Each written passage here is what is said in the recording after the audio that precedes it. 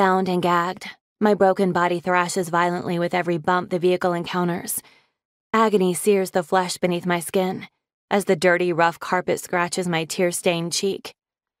No matter how hard I fight to escape the enclosed space, it's no use.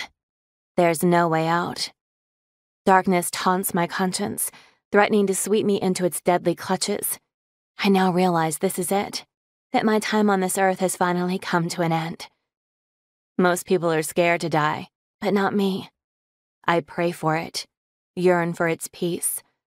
All I want is to be with my mother and the angels, rather than the monster I've been forced to endure since her death.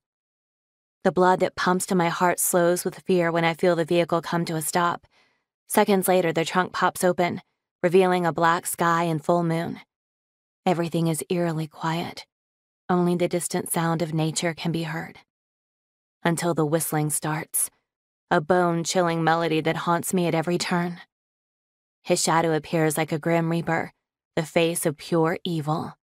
He holds a crowbar, slapping the hard metal against his palm with a spine stiffening sound. Time's up, Alice.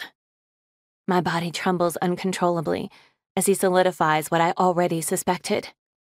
Sinister eyes peer down at me as a vicious smile curls the edge of his lips.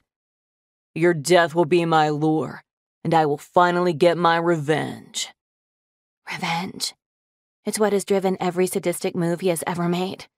A revenge that stole years of my life, and now someone else will suffer the same fate.